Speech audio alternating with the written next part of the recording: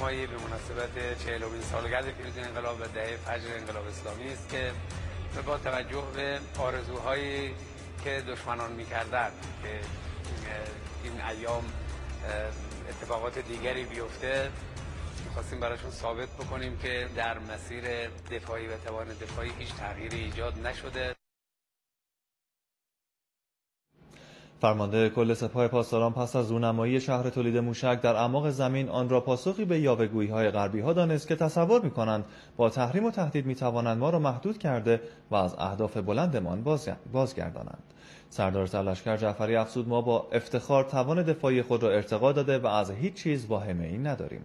فرمانده کل سپاه افزود قادریم در صورت شیطنت دشمنان به ویژه صهیونیست‌ها در همان لحظه اول آنان را آماج موشک‌های خود قرار دهیم.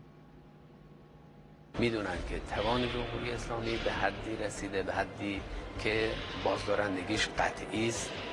و برای همین اونها در رابطه با تهدیدهای نظامی یا اقدامات نظامی علیه جمهوری اسلامی برنامه‌ریزی ندارن. اونقدر اونا منافع دارند اینجا حتی حضور نظامی دارن و نمی‌تونن این حضور رو نداشته باشن تو شعاع 2000 کیلومتری اطراف ایران.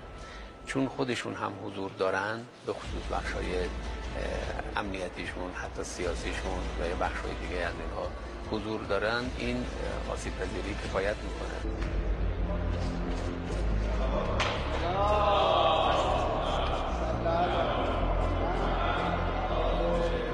استقامت و مقاومت و پایمردی مردم خوزستان و به ویژه شهرستان دسفول خب مثال زدنیه.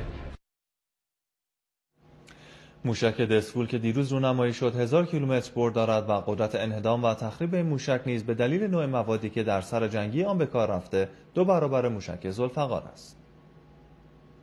قدرت انهدامش با موشک زلفقار به لحاظ حجم تغییر نکرده. وزنش یکیه ولی قدرت در واقع اثرگذاریش و تخریبش دو برابر. موشک دسفول در واقع به لحاظ ابعاد و اندازه خیلی نزدیک به هندسه موشک زلفقار. خب موشک زلفقار 700 کیلومتر برد داره. این حدود 1000 کیلومتر.